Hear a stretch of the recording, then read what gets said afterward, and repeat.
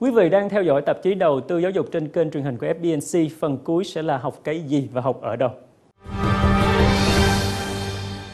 Thưa quý vị, trong mắt các phụ huynh và sinh viên Việt Nam thì du học Đức không mấy phổ biến.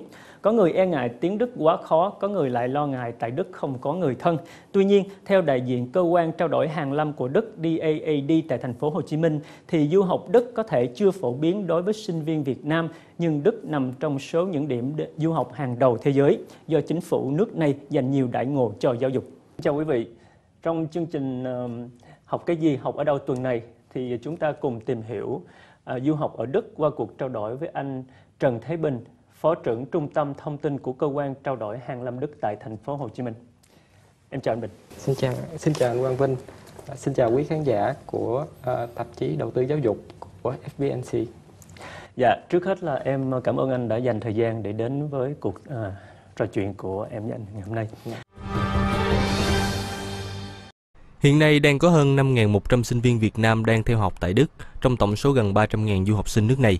Ngành học được yêu thích nhất là kinh tế và khoa học xã hội, tiếp đến là các ngành kỹ thuật, toán và khoa học tự nhiên.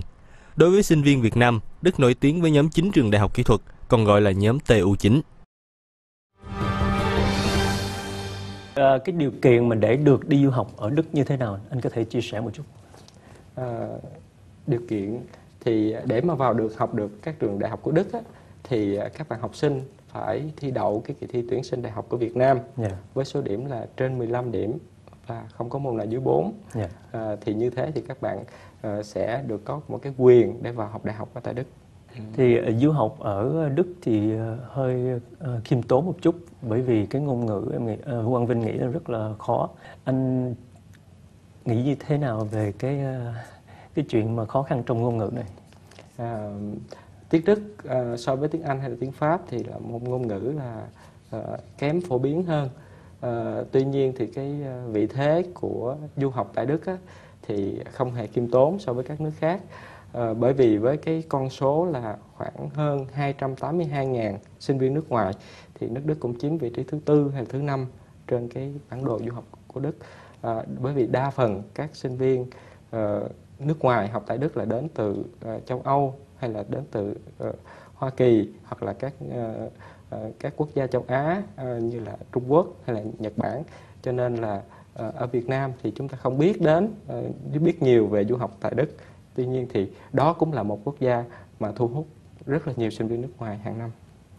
Chính phủ Đức có có những cái chính sách nào để mà thu hút thêm du học sinh từ các nước khác? Uh, chính phủ Đức luôn luôn quan tâm đến việc là thu hút sinh viên nước ngoài uh, qua nhiều nhiều cái hoạt động thiết thực khác nhau. Uh, ví dụ như là tăng cường những cái đầu khoản đầu tư cho nghiên cứu hay là để nghiên cứu và phát triển hoặc là cấp các học bổng cho sinh viên nước ngoài. Uh, và đặc biệt là uh, không cái chính sách là không thu học phí ở tại các trường đại học công lập. Uh, và uh, đào tạo uh, cán bộ giảng dạy đào tạo cán bộ uh, giảng viên đại học. Cho nên là cái con số mà sinh viên nước ngoài đến học tại Đức thì tăng đều đặn hàng năm Yeah. Dạ. Uh, Quang Vinh vừa đề cập uh, về cái việc mà khó khăn trong ngôn ngữ, đặc biệt là tiếng Đức. Thì uh, uh, Quang Vinh muốn hỏi là có cần thiết phải biết tiếng Đức để mà đi du học ở Đức hay không? Yeah. Dạ. Uh, câu hỏi đó cũng thường được đặt ra thì uh, không nhất thiết là uh, chúng ta phải biết tiếng Đức khi mà chúng ta du học ở tại Đức. Uh, các uh, quý vị phụ huynh và các bạn học sinh đều có thể tìm thấy hơn 1.000 các khóa học dạy hoàn toàn bằng tiếng Anh ở tại Đức và khi đó thì người ta không có đòi hỏi cái cái điều kiện về tiếng Đức tức là mình phải biết tiếng Đức thì mình mới được du học ở tại Đức yeah. Dạ. mà mình học từ đầu cho tới cuối chỉ hoàn toàn bằng tiếng Anh thôi. Nói về um, ngành đào tạo thì đâu là ngành mạnh nhất của Đức và um, anh có thể cho Quang Vinh biết một số trường đại học nổi tiếng của Đức hay không? Uh, các trường uh, các thế mạnh các ngành thế mạnh của của Đức thì thì thường nghiêng về các ngành về kỹ thuật công nghệ và khoa học tự nhiên yeah. Dạ.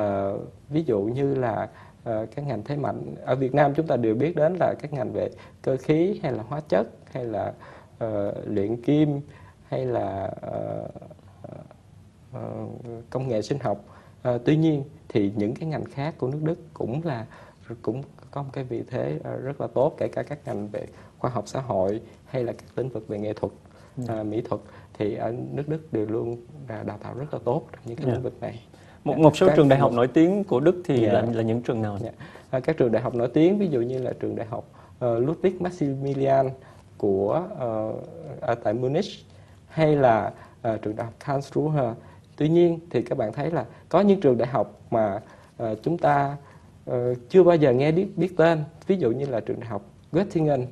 Nhưng mà chẳng hạn như trong trường đại học Göttingen trong vòng 100 năm vừa qua của của, của trường thì có hơn 44 nhà khoa học đoạt giải Nobel đã từng đến hoặc là làm việc hoặc là học Dạ. tập ở tại trường có nghĩa là cái cái danh tiếng về chất lượng nó nó nó ờ, nó được gắn ờ, từ từ với nước Đức là cũng từ lâu rồi Dạ.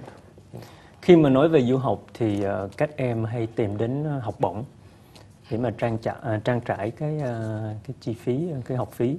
Thì vậy thì ở Đức ờ, như thế nào anh có thể chia sẻ cái cơ hội đó như thế nào?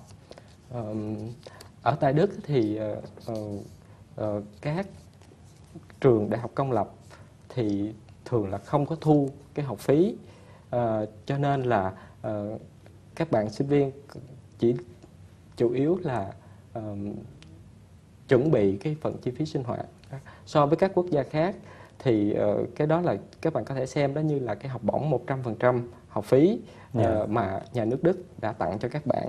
Ờ, các bạn ngoài ra thì chính phủ Đức cũng như là các quỹ học bổng của Đức cũng có những cái chương trình học bổng riêng ờ, cấp riêng cho sinh viên nước ngoài nhưng mà những cái học bổng đó thì dĩ nhiên là cái với cái số lượng là hạn chế Dạ. chỉ dành có ưu tiên cho những bạn học bổng xuất sắc nếu các bạn cảm thấy là học lực của các bạn rất là tốt Dạ. các bạn hoàn toàn có thể tự tin để mà xin đăng ký những cái chương trình học bổng này Ờ, Quang Vinh được biết là ở một số nước thì ờ, chính sách cho sinh viên đi làm bán thời gian rất là ừm, hỗ trợ hỗ trợ rất là nhiều cho mấy em.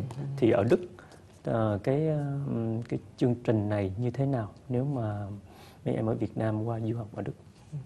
Ờ, tại Đức thì các ờ, sinh viên nước ngoài được phép ờ, làm việc uh, 120 ngày trong một năm hoặc là 240 buổi trong một năm thì các bạn cũng có thể trang trải được phần lớn cái tiền chi phí sinh hoạt của các Dạ. bạn. Quang Vinh cảm ơn anh Bình về những chia sẻ rất bổ ích vừa rồi. Dạ, Cảm ơn vâng. anh. Xin cảm ơn anh Quang Vinh. Ờ, xin cảm ơn ờ, quý khán giả của tạp chí Đầu tư Giáo dục. Những thông tin vừa rồi cũng đã khép lại tạp chí đầu tư giáo dục tuần này. Để xem lại những chuyên mục trong tạp chí, quý vị có thể truy cập trang web của chúng tôi tại fbnc.vn. Tôi là Quang Vinh và hẹn gặp lại quý vị trong chương trình kỳ sau.